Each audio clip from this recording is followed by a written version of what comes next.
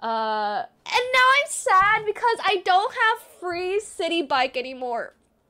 Because I was a city employee, I got to use Citi Bike, which is like a New York like it's like a biking thing. But ha ha ha, bitch! Ha ha ha! You little bitch! City little bitch! The membership ends in January, but I'm gonna probably move out in January. So, who has the last laugh now?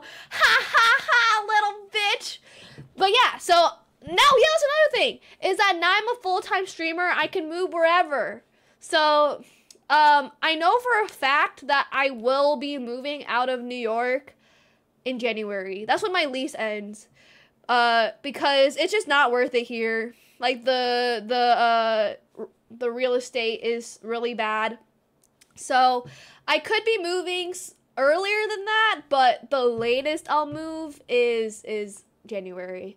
Yeah, I know. Goodbye, New York, but I'm ready for a new a new slate.